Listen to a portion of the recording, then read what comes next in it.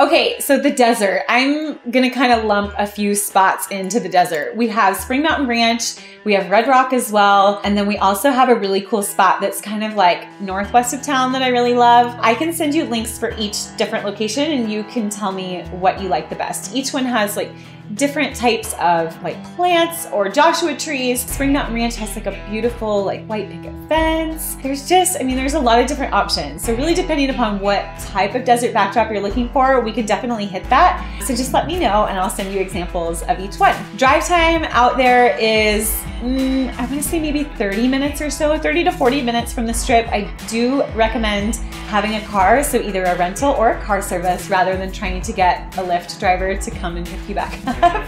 and it also gives you guys a chance to drive around afterwards.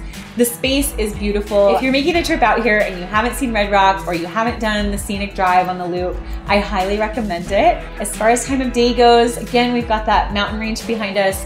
So the sun does set a little bit earlier, perception wise, it sets earlier in the desert. So I'll give you guys an idea of how much earlier normal we would want to get out there for the very best light. There are additional fees for both Spring Mountain Ranch as well as Red Rock. I will help you guys through the permitting process for both of those, and then I will organize all the paperwork, all the insurance that has to be filed, all of that stuff I will do for you. Just reach out to me, and based on each location, I can give you the breakdown of exactly what those costs will be. And then I like between 30 minutes and an hour for each of these spots. Depending upon where we're going, I can show you how much we can accomplish in that time frame. A couple things to think about. Footwear, you are going to be walking. It's not really like hiking per se, but you will be walking. So you will want a comfortable pair of shoes, especially if you want to have like your heels in photos. You're not going to be wanting to like hike half a mile in heels before you get to the photo part. So you'll definitely want like a comfortable pair of shoes. Closed toe is great because there are rocks and stuff, so I would recommend a closed-toed pair of flats that you can hike in. I think the desert goes well with anywhere else in town. I mean, that's just me. I'm biased. I live on the edge of town. I think it's beautiful. I think it goes great with downtown. I think it goes great with the Neon Museum. Really, it just depends on what you guys are feeling. Like, where do you envision yourselves? Where do you want to be photographed? Where do you see